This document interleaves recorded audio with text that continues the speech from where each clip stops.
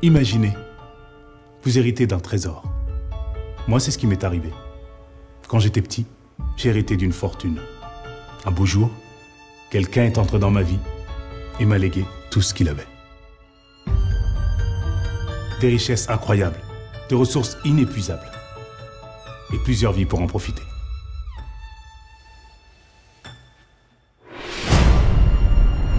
J'ai hérité d'un livre qui est bien plus qu'une histoire.